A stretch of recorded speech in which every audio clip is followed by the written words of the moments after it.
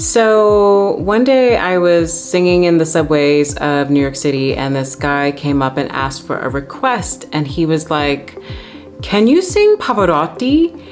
And I just thought, oh my God, this fool has no idea that he just asked me to sing another opera singer. He was thinking opera, and the only thing that came to mind was Pavarotti, not knowing that he was asking about a singer, not actually asking for a song. So, like, the equivalent would be if I went up to somebody and I was like, Oh my God, can you sing Michael Jackson? Yes, like it translates, like they want you to sing in the style of Michael Jackson, but they're not giving you an actual song. You'd be like, okay, but like which era, which song of Michael Jackson? Like there's just so much. I just want to make this video today about like operatic styles and relating them to what it's like to enjoy entertainment today because I see all of the similarities. I see how these things fit together, but clearly the world does not.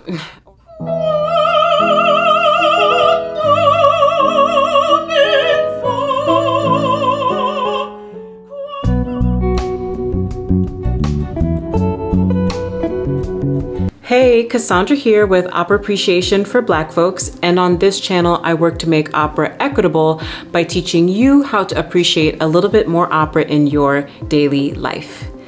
Okay, so one question that I get a lot, that I hear often from people who don't know anything about opera is what kind of opera is there? Is there different languages? Like clearly there's an understanding that it's coming from a different place or how many languages opera is in. And as I said in other videos, opera is literally in any language that people speak in. Opera is an art form where there is singing and music together to tell a story. So that happens in a lot of different languages and a lot of different countries. It's classified by different names, but I'm gonna break down some of the major players in opera that started it and kind of set the tone and inspired other countries to do the same or transform opera to be their own thing and how that like manifests into how we appreciate entertainment today. The three big players are the Italians who birthed opera, the French, and the Germans. The Italians were like, oh my gosh, the human voice is amazing. They were finding out a really wonderful way to concentrate on honoring the human voice. So when Italians are started with opera, their first claim to fame was what we call bel canto. And bel canto literally means that good singing or beautiful singing. And so bel canto is where, I don't know if you've heard the term of park and bark, where it's literally somebody that's just standing there and focusing on how beautiful their voice is. And that's really a really crude definition of what Italian singing is. So composers like Mozart and Handel and Rossini and Bellini and Donizetti wrote a lot of operas that had lots of fast movement and have these moments where they would just stop and honor like how amazing this voice can move. What's sort of also really important about bel canto singing is that there's a lot of light, long, intricate vocal patterning that expresses a lot of meaning and emotions all through the voice. So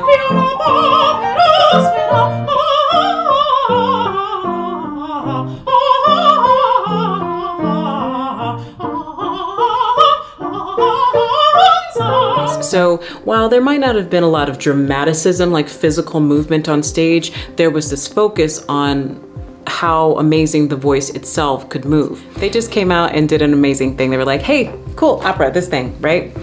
And then the French and the Germans were like, hmm, hmm, hmm, hmm, adopted it, and some, they rejected certain things or accepted different, uh, different things. So the French embraced some, but not all of Italian singing. They really liked the idea of focusing on the voice, but they also really wanted to focus on the enunciation of the texts. And they objected from like the sung word being like too littered with too many things. They didn't like it to be obstructed. They just wanted to be beautiful beautiful, beautiful singing without a lot of movement.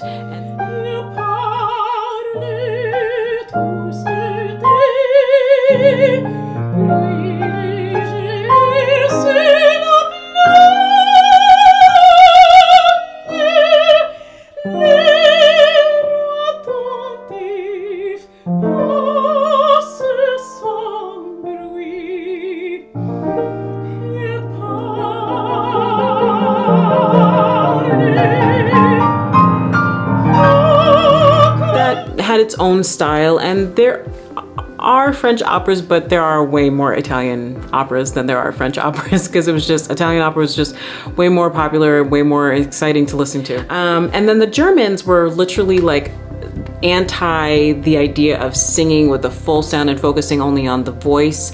They wanted to focus on other things like the storytelling. Theirs was very text based. Their music reflected the texts and they focused on what we would call singspiel, so singing and speaking together, which afforded a lot of like acting that was because more stories were coming, but these were also more fanciful stories. They were based in maybe comic or romantic plot lines that had a lot of magic and uh, folklore, hymns, and a lot of strophic or repetitive tunes that we would hear over and over again. Strophic singing where it sounds the same, the tune sounds the same, but the text changes. The Germans came up with that and they were like, hey, we're just gonna do this beginning of pop, these folk songs where they're accompanying themselves themselves and the text help to support the singing. You know, that came out of the Germanic style. So we've had composers like Handel, Mozart, uh, Beethoven, and we had Wagner knocking it out of the park of merging comedies and romances and storytelling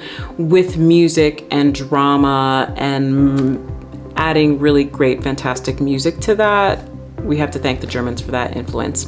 And so Italians, so the Italians were like, oh my gosh, singing. The French were like, um, yay, singing, but you know, uh, the language and let's not get too, uh, let's not let's not make it too fussy, you know, let's make it clean, you know? And then the Germans were like, no, we really love the text and we want to focus on the story and we want to make sure that while the voice is important, we won't want to sacrifice the story for the singing. We want the two things to come together and marry well.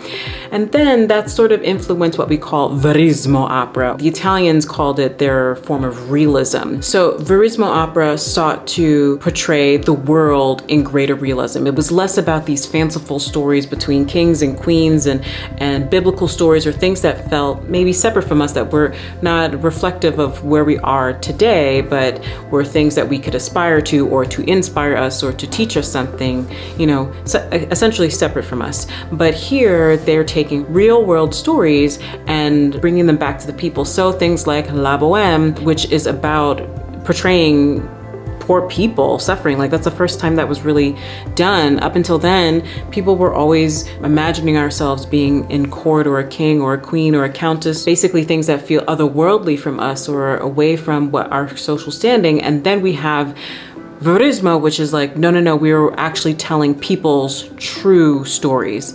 We're not um, separating people by class. We're just telling honest stories. And so that is that inspired things like Pagliacci with the clown and Tosca and La Boheme, which is, you know, about four poor bohemians and one dying of cold and fever. So it's just like, whew, you know, com compared to watching uh, say Mozart's Die Zauberflöte, watching a princess be chased around by her queen mother of the night who is a witch and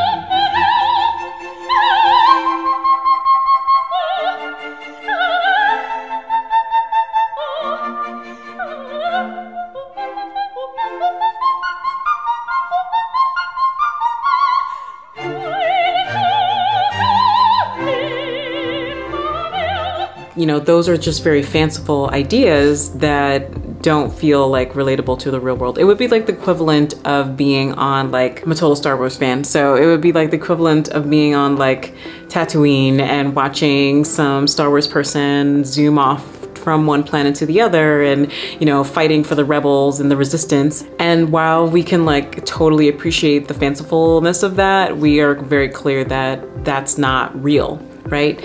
We connect with it because they can be real human stories and connections, or we just like the story and how it unfolds and like the fanciful, fancifulness of it all, um, and feeling familiar themes, like hearing that Star Wars theme, or like total, sorry, total nerd about that. But you get what I'm saying. Um, so those things created a very different experience for the opera goer, which was the movie goer of the previous time of, of that age, of the 18th and 19th century, because we didn't have movie theaters. And actually, if you go through a lot of towns in the US, all the theater, there was a time when, I think this started to happen after one of the world wars, I'd have to check my history, but those opera theaters then turned into the future movie theaters because it was the same idea of like going to the theater to sit down and watch entertainment watch a story be played out to you that you could connect to. So that's how those two things are the same.